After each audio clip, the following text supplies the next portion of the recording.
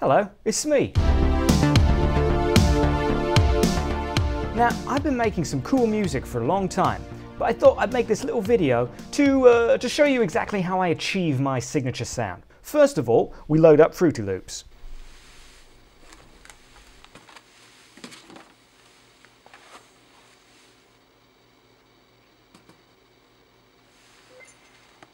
A lot of producers are going to tell you that you need a, a metronome uh, or something to help you keep time or keep the pace of your song. Well, I don't know what that is.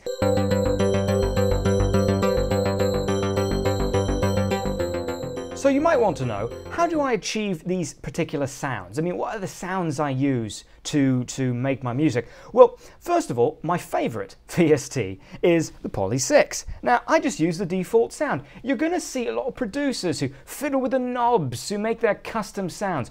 Why make your own sounds when the factory has done it for you? So now, using the default beats, I add a beat to my track.